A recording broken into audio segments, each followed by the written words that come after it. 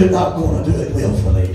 Amen. You're not going to sit down and say, I'm going to do it on purpose. Amen. Honey, because if you've got the Spirit of God, you'll look at that devil and you say, Oh, devil, honey, you might have fooled me once, you might have fooled me twice, but I know your trick and I know your tactic. And tonight I'm taking my stand and I have got the victory. Amen. Who is he that overcometh the world? But he that believeth that Jesus is the only begotten of the Father. Lord, tonight, God give you the power to overcome it. Tonight, amen. You got your Bible. Go with me. Amen. Well, I feel the good Holy Ghost tonight. Amen. Good to be in the house of the Lord. Amen. Turn with me, if you will, to 2 Samuel. Amen. The Lord woke me up last night. Amen. Begin to deal with me this early this morning. Amen. And I've in study all day. Amen. Before church, seeking the Lord and praying. Amen. The Lord led us to 2 Samuel chapter 11. Amen. I'm going to be going to a couple different places tonight. Amen. So bear with me. Amen. But our main text is going to be, amen, where we're reading from 2 Samuel chapter 11. Those of you that study your Bible know this story. Those of you that have read, amen, and sought the Lord knows about this man by the name of David. Amen. The Bible said that David was a man after God's own heart. A man that sought the Lord, but also a man that was gone away. Amen. Tonight, the Lord give me the message drawn away. When he woke me up, the first thing that he spoke to me early this morning, when I woke up, the Lord spoke to me, drawn away. I want to talk to you tonight. Are you being drawn Oh, away. See, that's what the devil wants to do. He wants to draw your thought process away from God. Why? Because the Bible said, Amen, whose mind is stayed upon the Lord shall remain in perfect peace. So he wants to draw your thoughts away. He wants to draw your eyes away. He wants to draw your heart away from God. So tonight, amen, let us all stand in the honor of the reading of the word. Amen. 2 Samuel chapter 11. Starting verse 1. Amen. And it came to pass after the year was expired at the time when kings go forth to battle that David sent Joab and his servant with him and all Israel. And they destroyed the children of Ammon and besieged Rahab. But David tarried still at Jerusalem. And it came to pass in the evening time that David arose from off his bed and walked upon the roof of the king's house. And from the roof he saw a woman bathing herself. And the woman was very beautiful to look upon. And David sent and inquired after the woman. And one said, Is not this Bathsheba, the daughter of Eliam, the wife of Uriah the Hittite? And David sent messenger uh, and took her uh, and she came in unto him, and he lay with her, for she was purified from her uncleanness, and she returned unto her house. Verse 5, and the woman conceived and sent and told David and said, I am with child. And David sent to Joab saying, Send me Uriah And Joab sent Uriah to David. And when Uriah was come unto him, David demanded of him how Joab did, and how the people did, and how the wars prospered. And David said to Uriah, Go down to thy house and wash thy feet. And Uriah departed out of the king's house. And there followed him a mess uh, of meat from the king.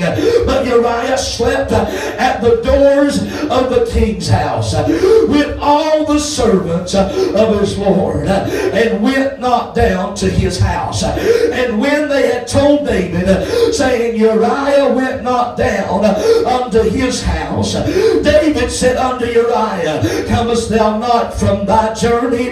When then when, why then didst thou not go down unto thine house? And Uriah said unto David, The ark and Israel and Judah abide in tents, and my Lord Joab and the servants of my Lord are into mine house to eat and to drink and to lie with my wife.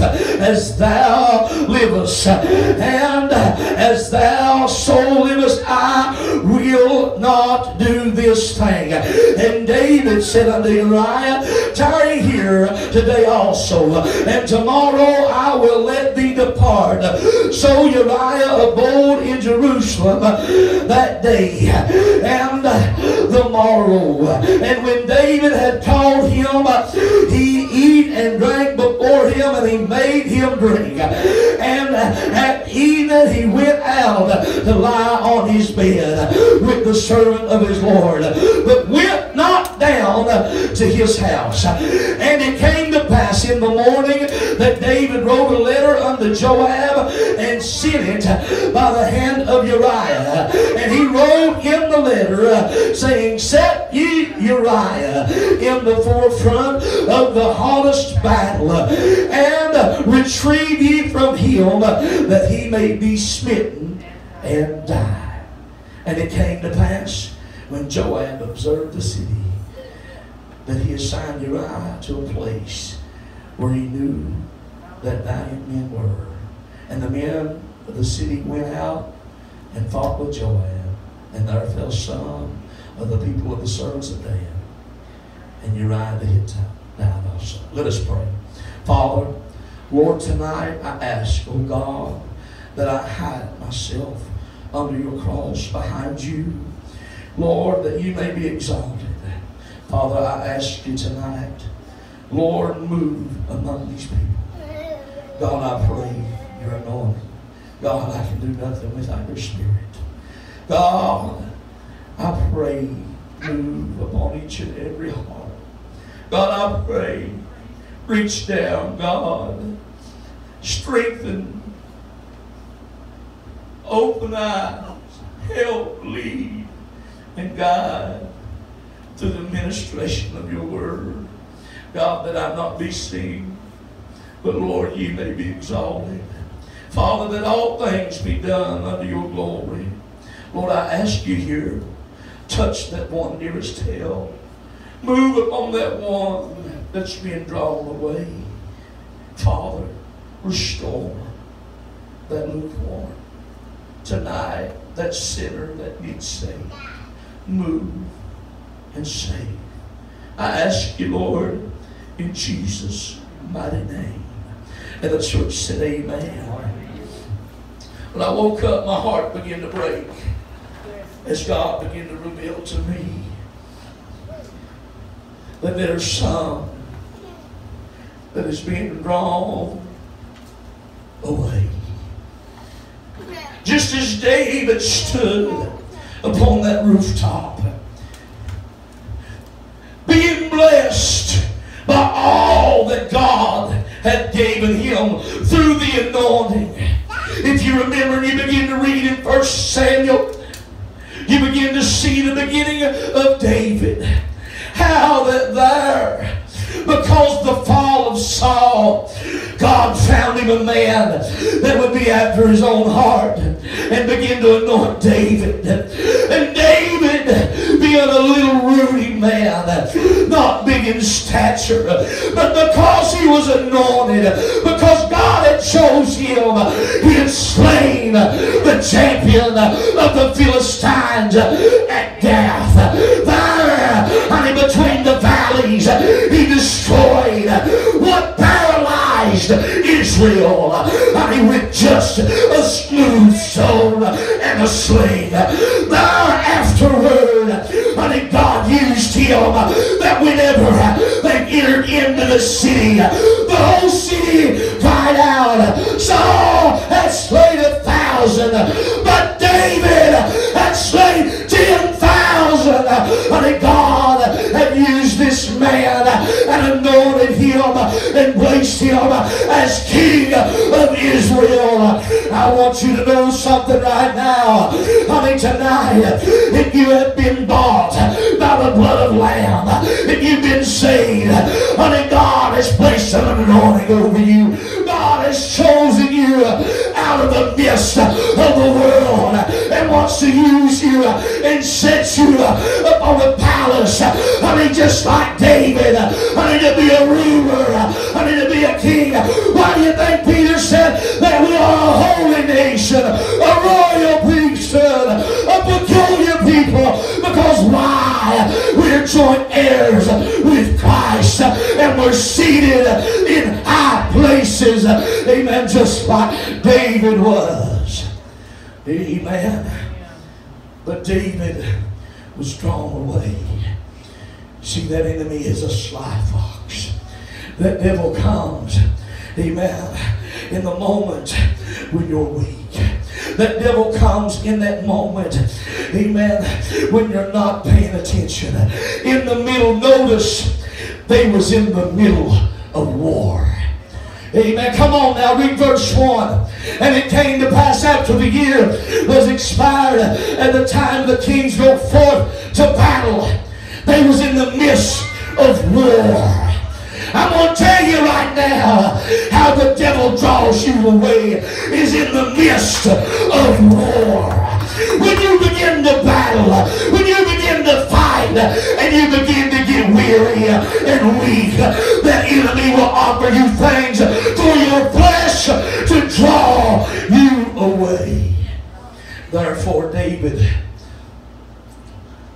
came to pass at evening tide in the middle of battle. Amen. After war was going on, after troubles and trials, after heartache, after adversity, after the enemy had came in, evening tide came. I mean, knows what happens in evening. This natural man wants to take rest. This flesh wants to have rest. How many knows tonight? Amen. Honey, you can't take your rest in a spiritual warfare.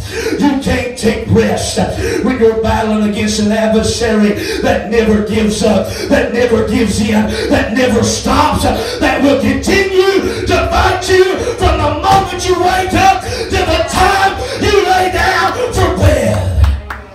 You can't give up. David walked out in a moment of rest, wanting to try to take it easy. How many of us tonight is wanting to try instead of war and, and battle and fight against the enemy, wants to try to sit back and have it easy? Honey, there's children, amen, involved. Amen. Listen tonight. Amen. There's family members involved. There's loved ones involved. My wife, my home, my church is all involved. I can't sit back and watch the devil drive it straight to hell. Amen. David was a man of war. Like many of you here tonight, you're men and women of war. You're not afraid to go toe to toe with the devil. You're not afraid to grab a hold of that bottle of anointing oil and take it and walk up to your front door and say, just as Moses bled the blood on the mantle and upon the doorpost.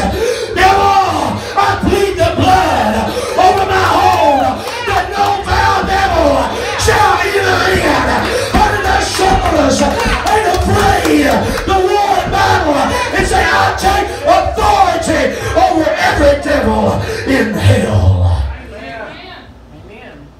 But just like David, at evening tide, some of us wants to take rest.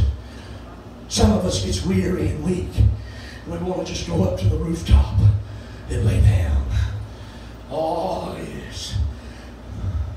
The Bible said at eventide, David rose from off his bed, walked upon the roof of the king's house. And from the roof he saw a woman washing herself. And the woman was very beautiful to look upon. Can I tell you something? The enemy's not going to come at you with ugly things. Come on now. He's the most beautiful angel of heaven. You read in Ezekiel, and you'll see the beauty of Satan. You'll see the rubies and the sapphires and, the sardius stones. That was all about him. He comes with you with beauty. He comes at you with something you like. He comes at you with something your flesh desires. Just like he came with David. Tonight I want to read you the warning of what James began to write. The Bible said in James chapter 1 verse 15 or 14, but every man is tempted when he's drawn away. When he's drawn away, is the enemy drawing you away. Every man is tempted when he is drawn away of his own lust and enticed. Listen what the Bible said. Then when lust hath conceived, it bringeth forth sin. And sin, when it is finished, bringeth forth death. Do not err, my beloved brethren. See, James knew how the enemy's power operated.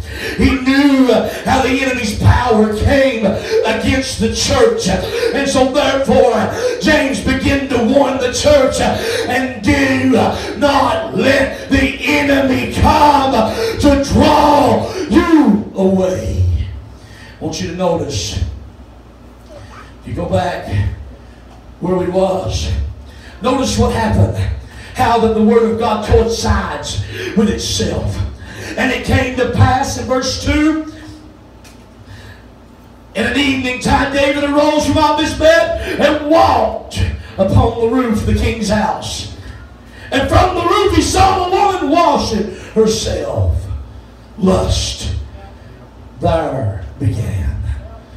But when lust conceived, the Bible said it bringeth forth sin. What's the Bible say that he done next? And from the roof he saw a woman washing herself. And the woman was very beautiful to look upon. And David sent and inquired after the woman. See, there's one thing you need to learn tonight. The devil will try to draw you away. But you've got to learn that when lust cometh forth, when it conceives, you kill it. When lust comes forth and tries to be born, you destroy it. When lust comes forth, mean, like the old saying is, honey, a bird can fly over your head, but you can't let it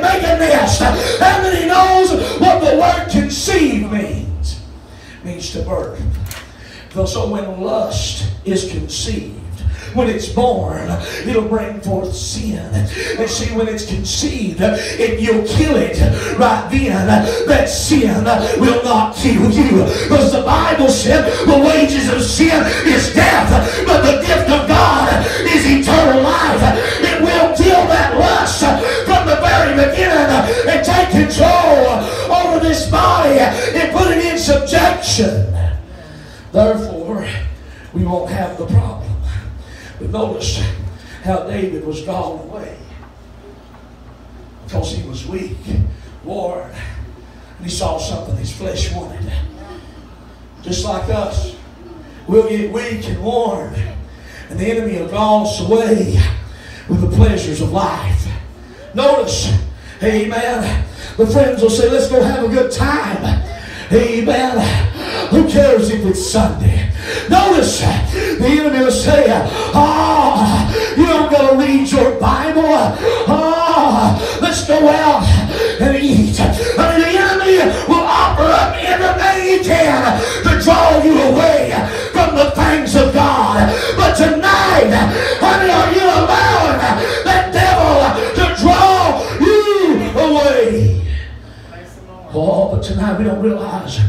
The long road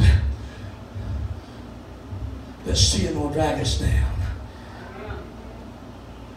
Because we let it conceive. Because we let it take place. How many is guilty of letting it take place? Come on now. Be real with yourself. How many's, how many's allowed that enemy to come right on in and slip right into your home, slip right into your life, slip right into your family, slip right in, honey, to your relationship with God.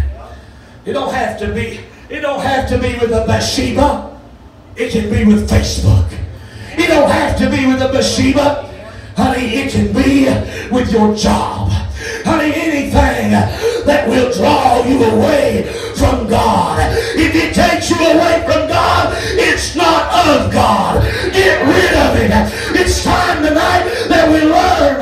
If he had got rid of Bathsheba, he would have never had the heartache. He'd have never had the trouble. He'd have never known pain of the loss of a child. If it had not been for allowing the enemy to draw him away. See, tonight many of us know the story. Amen. We've heard the story. But how many of us is to sit down and truly examine how the enemy began to draw us away? See, just like that, he called for Bathsheba to come into his house. He lied with her, and there because the enemy drawed him away. You can't blame the devil because you lay in the bed with a whore. Oh, you hear me tonight? You can't blame the devil for something you do. You can't lay blame on the other person because of the fault you have. Amen. David couldn't blame Bathsheba. He's the one called for. Amen. But many of us Amen. Would have been like, it was her fault she was bathing naked. If she hadn't been naked, I wouldn't have done it. But amen, we need to learn in the house of God tonight how that we must, honey, know how to control. Every man must know how to control his own vessel. Some of us don't know how to control ourselves.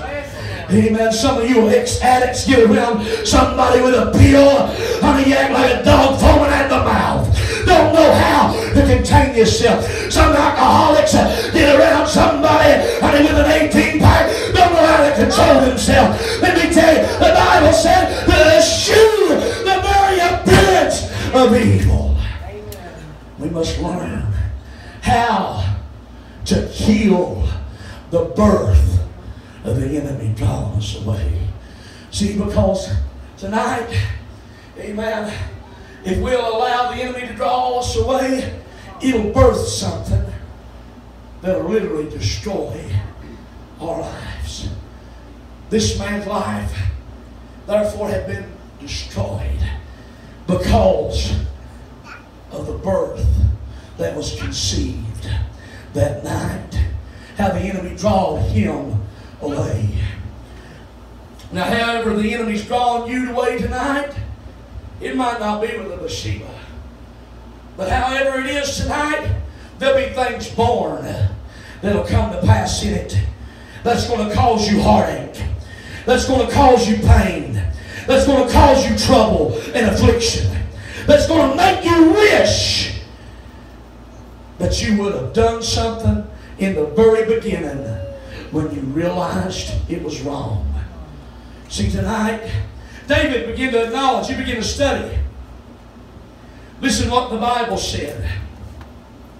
Verse 3 And David sent and inquired after the woman and one said, Is not this Bathsheba, the daughter of Eliam, the wife of Uriah the Hittite? And David sent messenger and took her, and she came unto him, and he lied with her, and she was purified from her uncleanness, and she returned unto her house. And the woman conceived and sinned and told David and said, I am with child. Notice what David began to do because he had placed in the snare of the enemy because he was drawn away. The Bible said, and David sent to Joab, saying, Send me Uriah the Hittite. And Joab and sent Uriah to David. And when Uriah was come unto David, demanded of him how Joab did, and how the people did, and how the war prospered. He began to teach and act like Uriah, he was his best friend. How's things going down there? Everything all right after he done just slept with his wife. Some of you sleeping with the devil than trying to be his best friend and trying to cover it up. Just like David, he tried to get Uriah to go down and to lie with Bathsheba to cover up his sin. That's like some of you, you'll use other people in your life to try to cover your sin. You'll blame it on other people to cover your sin. You'll use other people, go behind their back, act like they're your best friend to try to cover your sin. David done the same thing. Why? Because, honey, it's how the enemy operates. Realize, amen, a man of God that don't war in prayer and labor in the word and gets up and preach, you'll know. Why? Because there's no anointing behind it. Then he'll blame his wife, I didn't get time. Then he'll blame his children, they was making too much noise. Oh, come on now. I'm trying to preach you and teach you not to let the devil draw you away. Because it's going to cause you a lot of hell, heartache, and pain.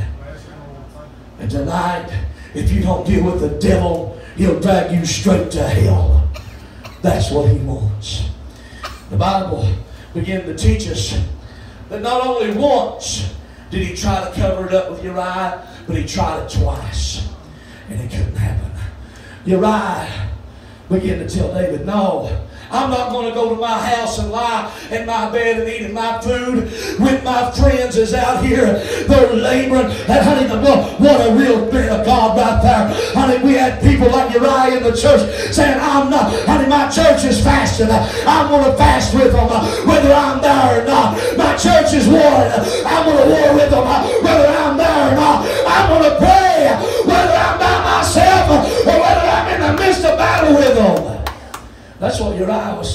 said, I'm not going to go enjoy the pleasures of my house while my, my brethren's out here warring and dying and fighting for us. Some of you, amen, just like David, don't care. Amen. You wouldn't labor on your knees for 20 minutes while you've got people in this church praying for heirs for your soul. Oh, tonight we must understand it's all a trick and a tactic of the enemy to draw us away from God. He wouldn't like nothing better, shotgun, but to draw you away and lead you astray. How many knows tonight, though? If you're here tonight and the devil has drawn you away, amen, guess what? Honey, there is a shepherd Oh, listen. Honey, David was a little shepherd boy, but he wasn't like this shepherd. The Bible said, honey, that Jesus said, I am the good shepherd. And the good shepherd, honey, goeth before the flock. Honey, he'll leave the 99 and go after that just one. And he'll return them and pack them on his shoulder and bring them back to the fold. Even though they was drawn away. Amen. You can be drawn away by the enemy tonight, but Jesus is saying, I'm still here seeking. I'm still saving. I'm still bringing them back. I'm still returning them back to the fold. I'm still on the throne. I still got control. I still have power, and I'm pulling them back. Amen. Just like Bible said he set a hook in their jaw and he's pulling them back. Tonight, God said he's pulling them back. There's something here, the enemy's trying to draw you away, drawing you away, and you've let it happen. Amen. You'll be just like David. You'll suffer the pain for it. Amen. You'll suffer the agony for it. You'll know the heartache and realize the shame of the things you've done. But one thing about it is, amen, David was still a man after God's own heart. David was still a man that had favor in God. David was still a man that God still left him on the throne and give him blessing. Even though he was drawn away. You bad fool if you don't think the enemy can't draw you away. You bad fool if you don't think that you can't slip and slide down that rough road backwards. Honey, what do you think? Jeremiah went to Israel. He said, Oh, Israel, thou art like a backsliding heifer. Honey, many of us, amen, we might not want to admit it, but there's times, amen, that we've slid backwards. There's times we fell back, and God has had to come and grab a hold of us and shake us and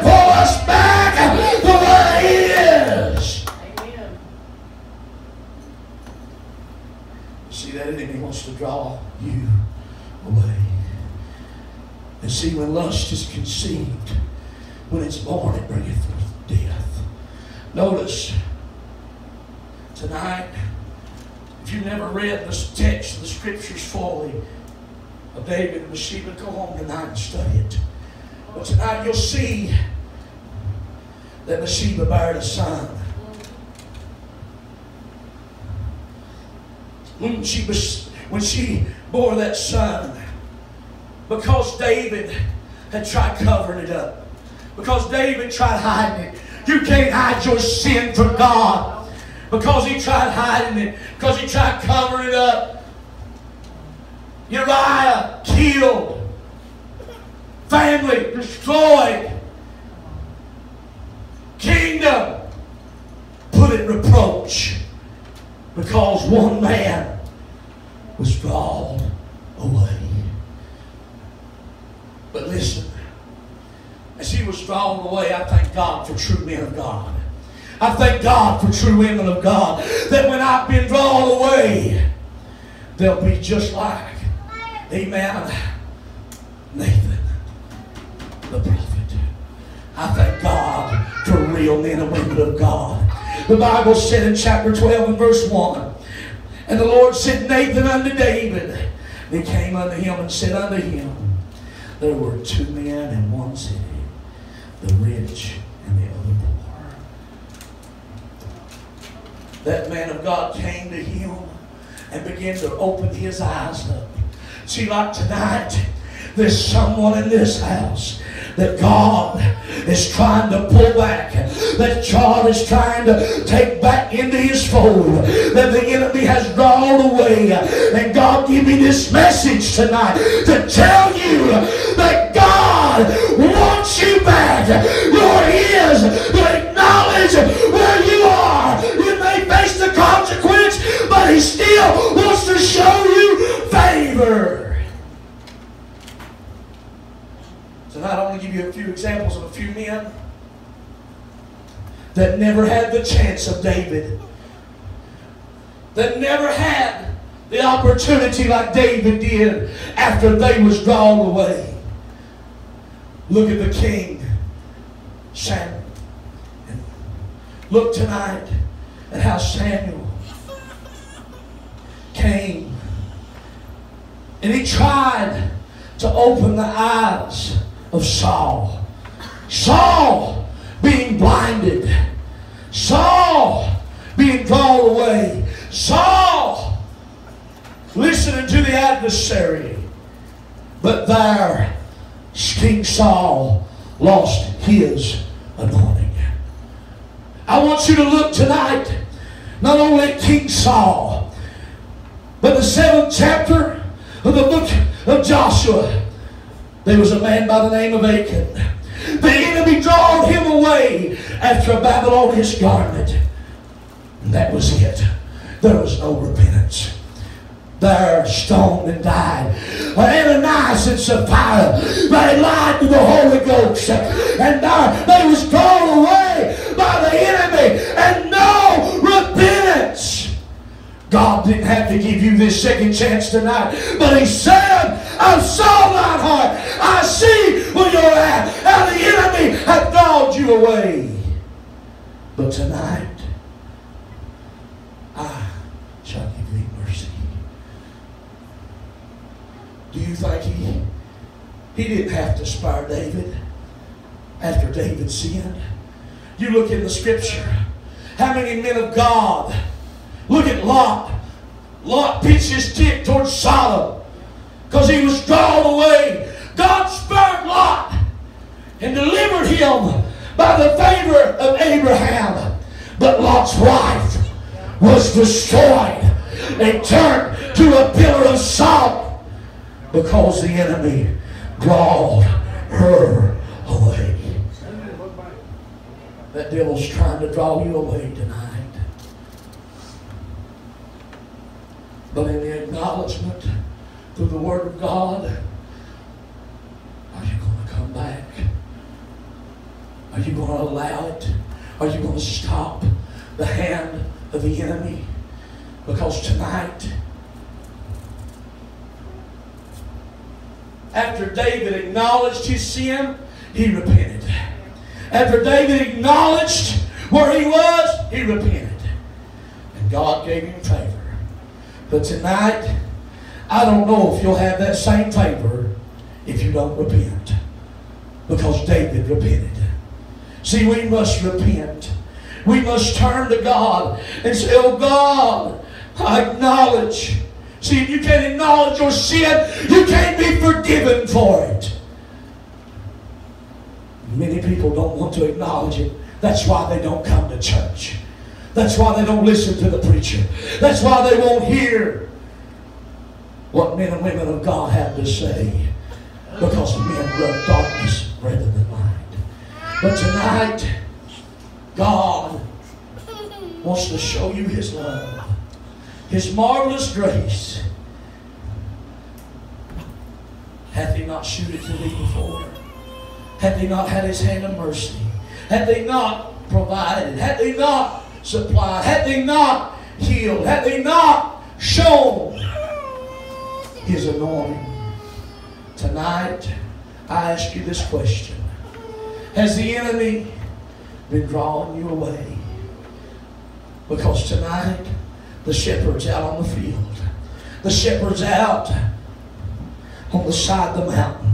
The shepherd's out in the wilderness searching for those that the enemy had drawn away to bring back into the fold. Before we get ready to give an altar call,